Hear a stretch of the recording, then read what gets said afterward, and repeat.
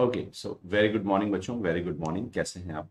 एकदम ठीक हैं फिट हैं फाइन हैं। uh, तो हम बायोलॉजिकल क्लासिफिकेशन को आज ख़त्म करने वाले हैं और बेहतरीन तरीके से हमने इसको पूरे चैप्टर को कंप्लीट किया है। और आज जो जो ज़रूरत है वो ये कि हम इस चैप्टर को सुकून से सिस्टमेटिक तरीके से कंप्लीट करें। हमने इसमें कंप्लीट चीज़ें देखी हैं सारी चीज़ें ही लगभग देखी राइट और ज़रूरत ये है कि हम अब इसको थोड़ा सा और सिस्टमेटिक लेकर जाएँ। मैं एक बार देख लूँ कि क्या मेरी वॉइस वगैरह सब ठीक है? और मुझे चार्ट में भी बता दो कि सब ठीक है और या नहीं है।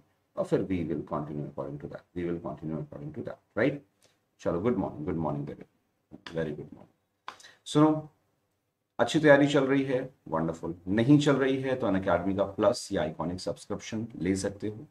हर वीक एक नया बैच हम लॉन्च कर रहे हैं। हमारे पास टीचर्स बहुत हैं। And the best thing is कि आइकॉनिक सब्सक्रिप्शन अगर आप लेते हैं तो उसके मैं कुछ बेनिफिट्स आपको बता देना चाहता हूँ। आपके लाउड लाइव डाउट सेशंस चल रहे होंगे। कभी भी आप लाइव डाउट ले सकते हो। लाइव मेंटरिंग सेशंस हैं। आपको प्रिंटेड नोट्स मिलते हैं और जितने भी बेनिफिट प्लस के हैं, वो तो आपको डायरेक्टली यहाँ पर बच्चों मिल ही रहे हैं। तो प्लस के सारे बेनिफिट्स आपको यहाँ पर मिल जाएँगे फ़र्स्ट थिंग साथ साथ में आप सीधे फ़ोन पर, कॉल पर बात कर सकते हो टीचर के साथ में अपने डाउट्स के लिए। सीधे, कोई प्रॉब्लम ही नहीं। आपको क्या करना है? कुछ भी नहीं। One on one mentoring session पर जाना है लाइव मेंटरिंग में अपना सेशन टाइप करना है, अपना सब्जेक्ट पिक करना है स्लॉट बुक करना है दो बजे, तीन बजे का, कितने बजे का। अपने नोट्स ऐड करने हैं, जो भी जहाँ से डाउट है तुमको डायरेक्टली आपका सेशन कंफर्म हो जाएगा। तो ये कुछ बेहतर, बेहतरीन मेथड है। आप प्लस या आइकॉनिक कोई भी सब्सक्रिप्शन ले सकते हैं, मैं थोड़ा सा आइडिया दे दूँ। जो आइकॉनिक है वो फिफ्टी सिक्स थाउज़ेंड का राइट आइकॉनिक कितने का है? फिफ्टी सिक्स थाउज़ेंड अब ये फिफ्टी थाउज़ेंड का हो जाएगा। ये जो प्लस सब्सक्रिप्शन की बात करें राइट प्लस सब्सक्रिप्शन के। ये फिफ्टी थाउज़ेंड का हो जाएगा। और ये जो वन ईयर है it is like for thirty four thousand जैसे ही आप कौन सा कोड यूज़ करेंगे एटी सर ये कोड यूज़ कर लेना इसको याद रखना। जब भी सब्सक्रिप्शन लेंगे, यही कोड यूज़ करेंगे राइट पॉसिबिलिटीज आपकी बढ़ जा रही सेम फॉर आइकॉनिक आइकॉनिक में आपका वन ईयर का कोर्स जो है सिक्सटी फाइव थाउज़ेंड है। है ना सिक्सटी फाइव थाउज़ेंड है। ये कुछ बेहतरीन ऑप्शंस हैं जो आपको ज़रूर से ज़रूर मिल जाते हैं। अच्छे सिस्टमेटिक फॉर्म साथ में आप ट्वेंटी फोर मंथ की बात करें तो यहाँ पर आपके पास वन लाख का सब्सक्रिप्शन है and it will become ninety thousand जैसे ही आप कोड यूज़ करते हैं एटी से। ठीक है? तो चलो सिस्टमेटिक एक नया बैच भी शुरू हो रहा है भाई कल से। कल से एक नया बैच शुरू हो रहा है आप सारे बच्चों को, जिनको नए तरीके से स्टार्ट करने हैं, उनको आप कर सकते हैं। एक चीज़ और मैं आपको बता दूँ। अन अकेडमी का एक बेहतरीन ऑफ़र आया नाइन टेंथ वाले बच्चों के लिए। है ना? अगर आप दो साल के सब्सक्रिप्शन को लेते हैं, आपको चार साल का सब्सक्रिप्शन फ्री मिल रहा है buy two year combo and get four year NEET preparation के नीट के लिए आपको। और ये सिर्फ़ फ़र्स्ट 500 सब्सक्राइबर्स के लिए हो।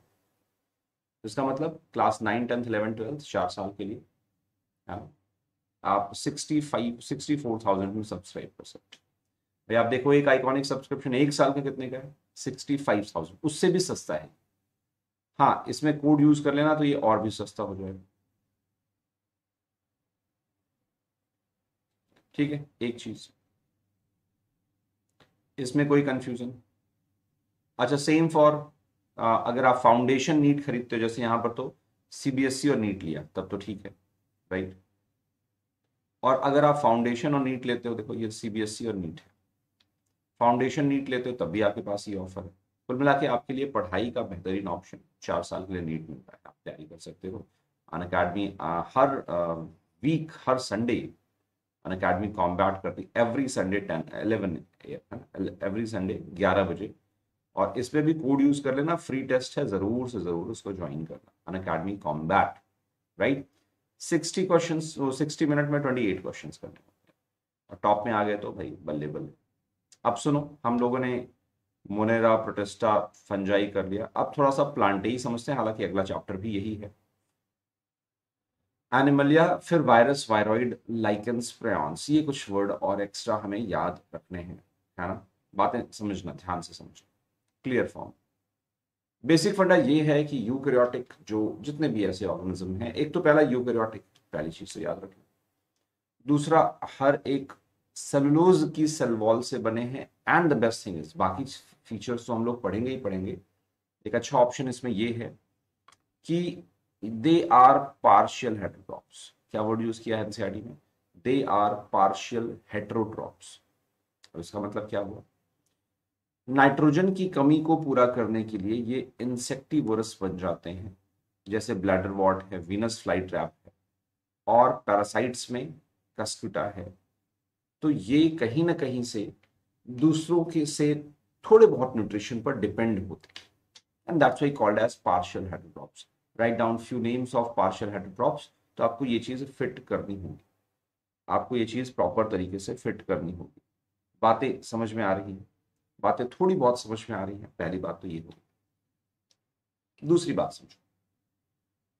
प्लांट किंगडम में हमारे पास जो डिविजन्स हैं, वो कौन कौन से है? ना, जो फर्दर डिविजन्स हैं, वो कौन कौन से हैं? एल्गी ब्रायोफाइटा टेरेडोफाइटा जिम्नोस्पम और एंजियोस्पम छोटी छोटी बातें हैं, सिंपल, आसान शब्दों में आप समझ लें इसको। एक और अच्छी बात ये, है ना? एक और अच्छी बात बच्चों ये है, समझने के लिए इंपॉर्टेंट है, कि जब भी हम प्लांट की लाइफ साइकिल देखते हैं तो ये दो फेजेस में होते जो गैमेटोफिटिक जनरेशन है, ये वाला।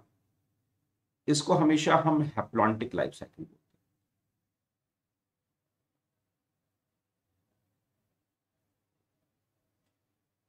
क्या वर्ड यूज़ किया? हैप्लॉन्टिक लाइफ साइकिल और जब मैं स्पोरोफिटिक जनरेशन की बात करता हूँ तो डिप्लॉन्टिक लाइफ साइकिल क्या वर्ड यूज़ किया? डिप्लॉन्टिक लाइफ साइकिल अब इसका मतलब क्या हुआ? डिप्लॉइड है ये, इसमें टू एन है और इसमें एन की बात करते तो डिप्लॉइड क्या वर्ड यूज़ किया? डिप्लॉइड और हैप्लॉइड और ये एक बार इसमें चेंज होता है, फिर अगली बार इसमें चेंज होता है। एक बार इसमें, फिर अगली बार इसमें। इसको बोलते हैं अल्टरनेशन ऑफ़ जनरेशन प्लांट की लाइफ एक बार हैप्लॉइड जनरेशन बनाती है, एक बार डिप्लॉइड हैप्लॉइड फिर डिप्लॉइड तो ये साइक्लिक फॉर्म में चल रहा होता है, इसको हम क्या बोलते हैं? अल्टरनेशन ऑफ़ जनरेशन बिल्कुल क्लियर फॉर्म में, एक भी वर्ड आपको इधर उधर की चीज़ें नहीं करनी। तो आप देखो ना, कौन सा इसमें इंसेक्टिवरस प्लांट है? तो ये दोनों इंसेक्टिवरस प्लांट है। किंगडम प्लांटेई में क्या है? Algae bryophyta pteridophyta gymnosperm angiosperm सारी बातें। तो इस तरह के क्वेश्चंस हम लोग करेंगे। प्लांट में कौन सी चीज़ नहीं है तो सेंट्रियोल नहीं है। अल्टरनेशन ऑफ़ जनरेशन किसमें मिलता है? सीन इन ऑल एक्सेप्ट अब देखो एग्ज़ाम्पल वाइज भी बात कर। है ना? हम्म। फ्यूकस स्फैग्नम इक्यूसेटम और अल्टरनेरिया सोलान ये बात हो गई तो ऐसे क्वेश्चंस आपको समझने राइट अब जब देखिए स्पोरोफिटिक फ़ेज़ है। एंड गैमेटोफिटिक फ़ेज़ है। तो जो स्पोरोफिटिक फ़ेज़ है, वो हमेशा डिप्लॉइड है। ना?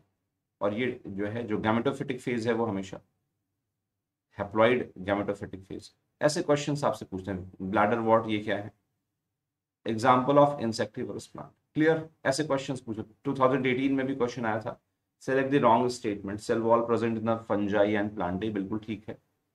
है ना mushroom belong to basidiomycetes तो ये थोड़े से क्वेश्चंस आप लोगों से पूछ लेते ये भी ठीक है है ना? यहाँ पर आपको चीज़ें कंफ्यूज कर रही हैं। Cell wall is absent in तो माइकोप्लाज्मा में। तो ऐसे क्वेश्चन आपसे पूछ लिए जाते हैं true nucleus is absent in ऐसे क्वेश्चंस आपसे बार बार पूछे जाएँगे। आपको सॉल्व कर लेना मैं सॉल्व अभी स्पेशल क्लासेस में करवाऊँगा। कितने बजे? एक बजे। एक बजे हम लोग क्लास कर रहे हैं। सुनो। एनिमल्स की बात है। Next one is kingdom animalia और किंगडम एनिमलिया में क्या चीज़ें हैं? इंपॉर्टेंट ध्यान से समझो। राइट बहुत ध्यान से। हो क्या रहा है किंगडम एनिमलिया में? है ना? किंगडम एनिमलिया में। पहले चीज़ तो मल्टी सेलर है हेट्रोट्रॉफिक है यूकैरियोटिक है। विदाउट सेल वॉल क्या वर्ड यूज़ किया? विदाउट सेल वॉल है। डायरेक्टली और indirectly depend on plant for food ठीक है? रिज़र्व फ़ूड मटेरियल में ग्लाइकोजन और फैट होता है होलोजोइक है ना, एक चीज़। डिफाइंड ग्रोथ पैटर्न है सेंसरी और न्यूरोमोटर मैकेनिज्म प्रेजेंट है। मतलब चीज़ों को देख सुन सकते हैं, है ना, देख सुन सकते हैं प्रॉपर तरीके से। ये चीज़ें स्टेप बाय स्टेप आपको समझनी है। एक और अच्छी बात लोकोमोशन कॉपुलेशन ये सब चीज़ें एनिमल्स की प्रॉपर्टी हैं including embryonic development that's it इससे रिलेटेड कुछ क्वेश्चंस आपसे पूछ लिए जाते हैं ना? इससे रिलेटेड क्वेश्चन पूछ लिए जाते हैं राइट तो आप लोग बड़े आसानी से सॉल्व कर सकते हो। पिकअप द रॉन्ग स्टेटमेंट तो यहाँ पर ऐसे क्वेश्चन है ना? Cell wall is absent in ऐसे ऐसे क्वेश्चन पूछ। Which of the following is living organism completely lack of cell wall तो ऐसे क्वेश्चन आप लोगों से एनिमल किंगडम स्टाइल में पूछेंगे। जो सबसे इंपॉर्टेंट है वो क्या है? वायरस वायरॉइड ऐसे क्वेश्चन आपसे पूछे जाते हैं। नाउ होता क्या है?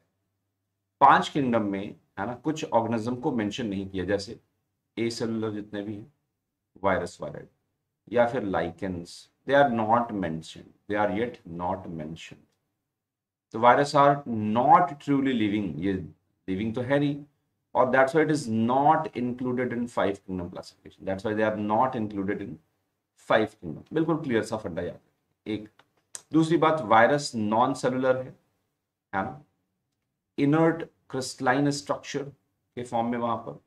रहते हैं इनर्ट फॉर्म में ना इनर्ट फॉर्म एक और अच्छी बात क्या viruses are obligate parasite obligate मतलब वो पैरासाइट रहना उसकी मजबूरी है, उसके पास दूसरा ऑप्शन है ही नहीं, ये बात याद रखेंगे। एक सेल को इन्फेक्ट करता है, वहाँ की सारी मैकेनिज्म को चुरा लेता है और अपने आप को उसी के न्यूट्रिशन से रेप्लीकेट कर रहा बातें समझ पा रहे हैं? तो पहली बार ये नाम किसने दिया बच्चों? पहली बार ये नाम किसने दिया? Louis Pasteur. ठीक है, नाम देने वाले कौन थे? वायरस का। लुइस पॉस्चर ने ये पहली बार नाम दिया। और सबसे अच्छी बात क्या? बाद में इसको नाम नाम तो चलो दे दिया कि हाँ ऐसी कोई चीज़ होती है। है ना नाम तो दे दिया। बट एक इंटरेस्टिंग चीज़ ये कि इवानॉस्की ने पहली बार इसको डिस्कवर किया फाइनली और बताया जी, होता है, सच में होता है, सिर्फ़ नाम देने से नहीं। टोबैको मोजैक वायरस के अंदर ये वायरस लगा हुआ था। याद रखेंगे।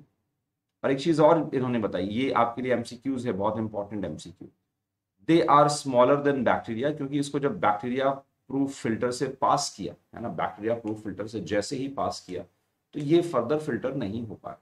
मतलब मतलब उसमें से फ़िल्टर हो गए फ़िल्टर हो गए मतलब इसका साइज़ छोटा है। They are smaller than bacteria they are what ये छोटी छोटी बातें आपको टिप्स पर याद कर लेनी होंगी।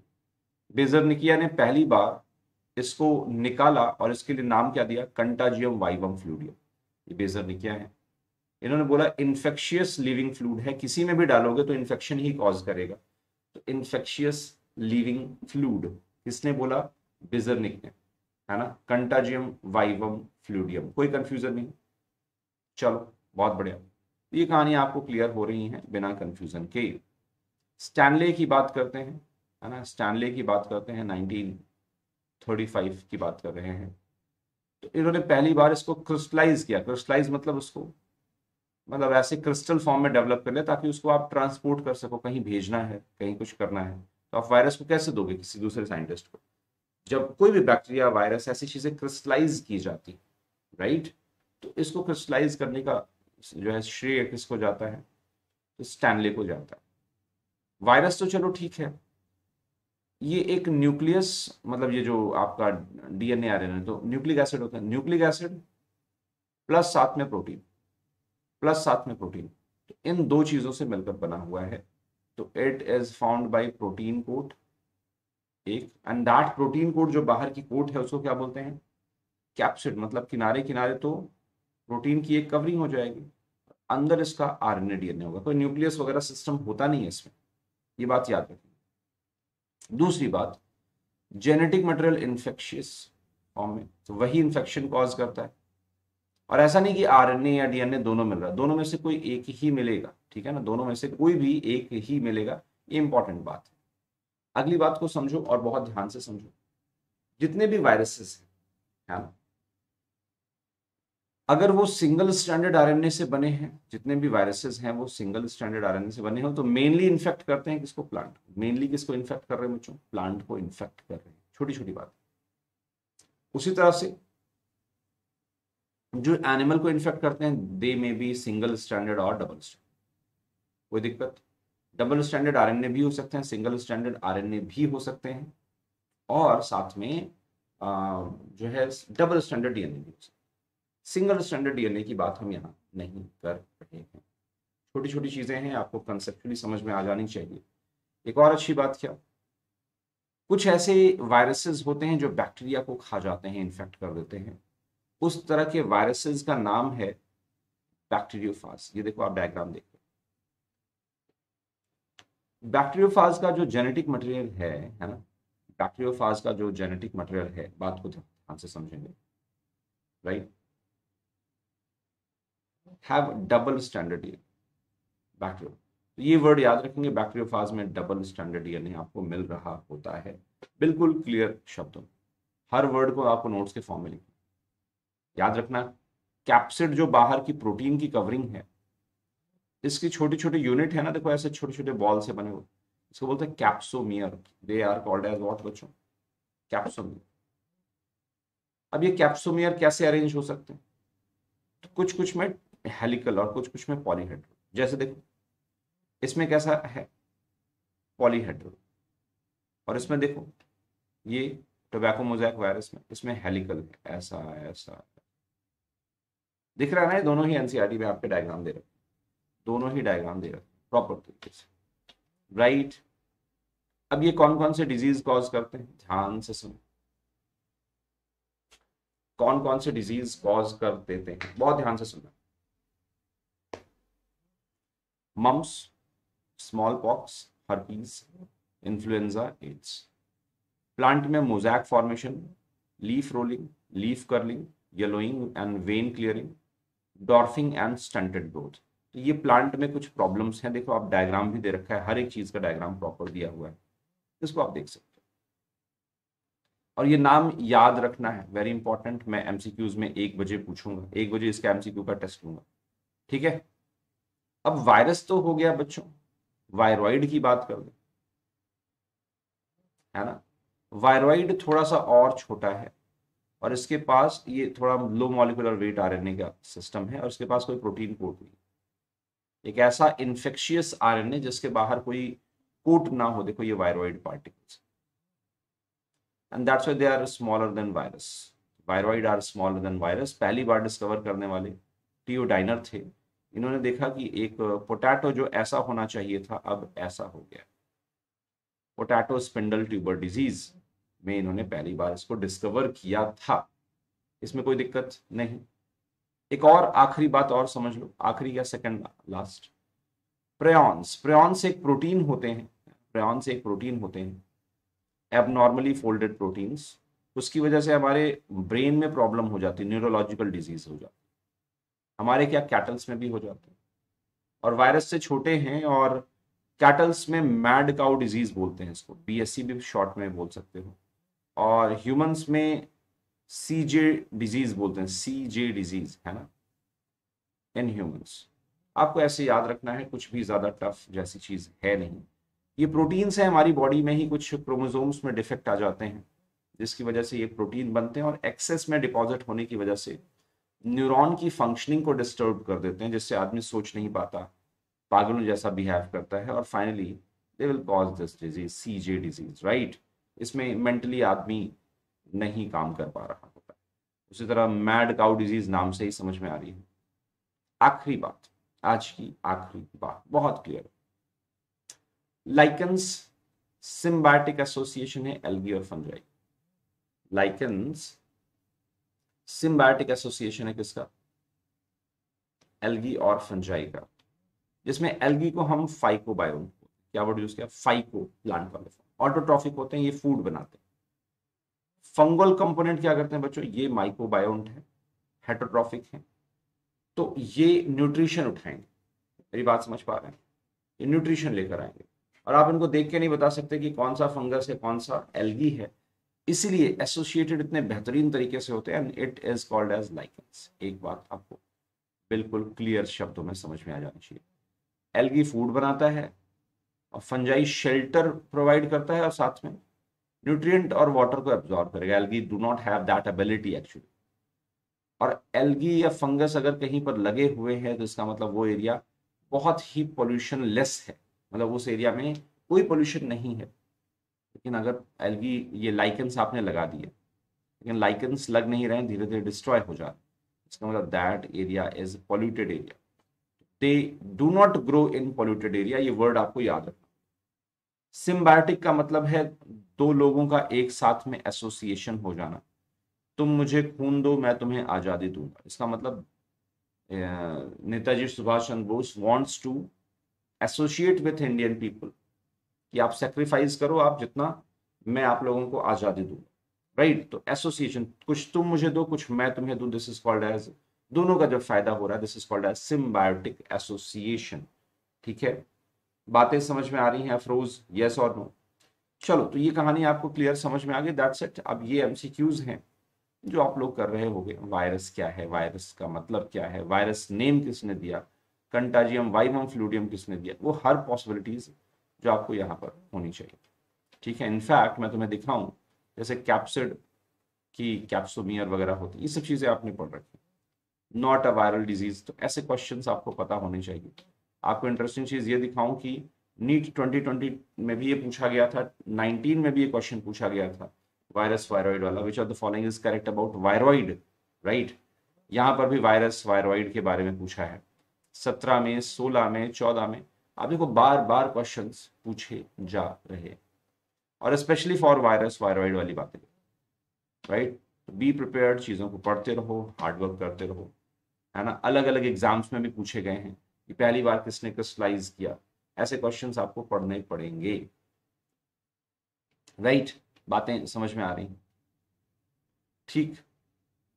ये देखो, अब जैसे protein coat of virus is known as तो सबको पता है कैप्सिड प्रोटीन कोट वगैरह के फॉर्म ऐसी चीज़ें आपको याद रखनी है। वेस्ट बंगाल में भी पूछा गया, मध्य प्रदेश में सीबीएसई ठीक है डन इतना ही डन करें।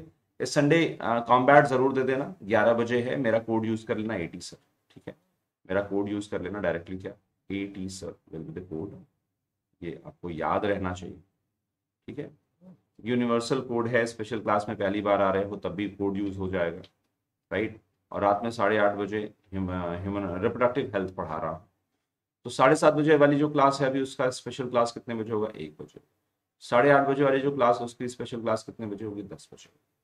और कोड यूज़ कर लेंगे एटी सर जहाँ पर भी स्पेशल क्लास टेस्ट प्लस लेना हो, तब भी टेन परसेंट ऑफ़ मिल रहा है। तो हर जगह बेनिफिट है आपका।